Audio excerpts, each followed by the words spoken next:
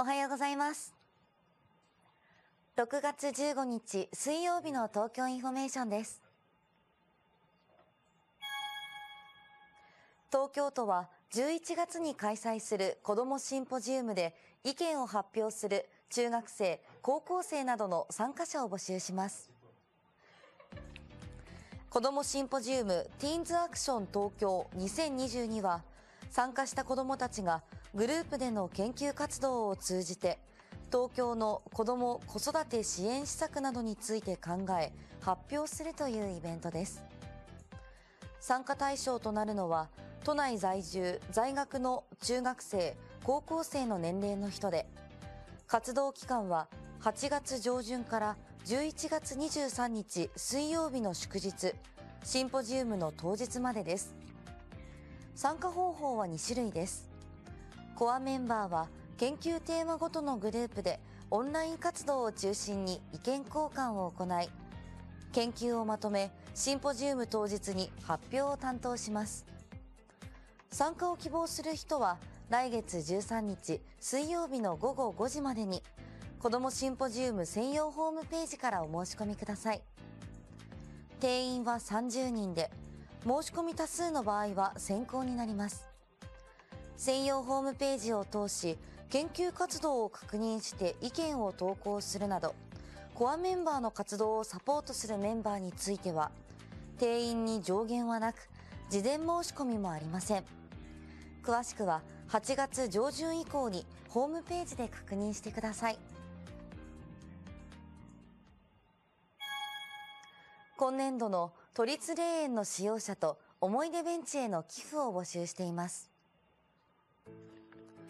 都立霊園の今年度募集は多摩小平八王子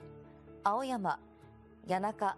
染井と千葉県松戸市にある八柱の7つの霊園で使用料と年間管理料は霊園や種別ごとに異なり区分ごとに居住年数など申し込み資格が定められています。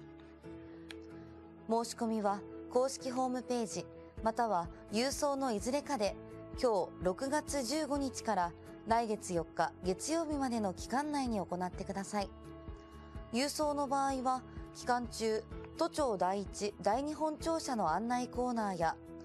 都立霊園などで配布されている専用の申込書を使用してお申し込みください。詳しくは問い合わせ専用番号0570-783-802で午前9時から午後5時までに確認してください。今年度の思い出ベンチへの寄付は公園30機霊園10機動物園5機の合わせて45機を9月30日金曜日まで募集しています。寄付を希望する方はホームページからダウンロードするなどで入手した申し込み用紙に必要事項を記入し窓口に郵送または直接提出してお申し込みください。23区内の公園などを希望する場合は建設局東部公園緑地事務所事業推進課まで。多摩地区の場合は建設局西部公園緑地事務所管理課が窓口です。東京都はウクライナ避難民などの就労支援を実施しています。都は就労を希望するウクライナ避難民の方や採用を検討している都内の中堅・中小企業を対象に就労に関する相談をワンストップで受け付ける東京都ウクライナ避難民等就労相談窓口を開設しました。場所は新宿区四谷一丁目にある東京外国人材採用ナビセンター内で利用時間は平日の午前9時から午後5時までです。対面 E メール電話オンラインのいずれでも相談できます。相談料は無料です。電話は050-5576-7317です。